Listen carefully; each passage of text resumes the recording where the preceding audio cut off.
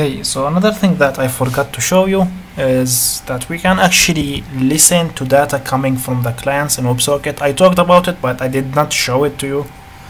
So when you create a connection or when there is a connection, we can represent or we can uh, use this connection uh, from by passing an argument to this function. I will call it socket. This is what the document called it.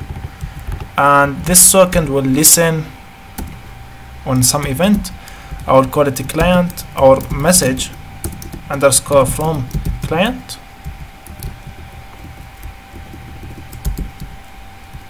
Like this and this will return a message or just console log that message. So whenever the client emits an event or by this name yeah emits an event by this name I will display the message that the client passed to on the server. So let's just run our server. Go here and this just try to connect.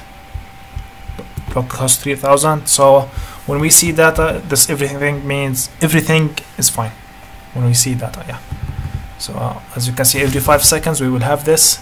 Now if you go here to this at the bottom we can actually put the event name.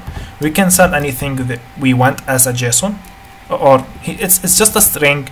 It's another way uh, or it's another concept or another maybe maybe set of videos.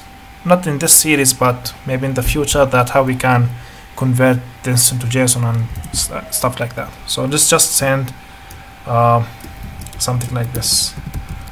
Hello web sockets. Send. As you can see we got we got it. So it's we sent actually a request on a WebSocket connection from the client to the server and here from the server to the client in real time. And they both got it. Uh, I think this is awesome. Thank you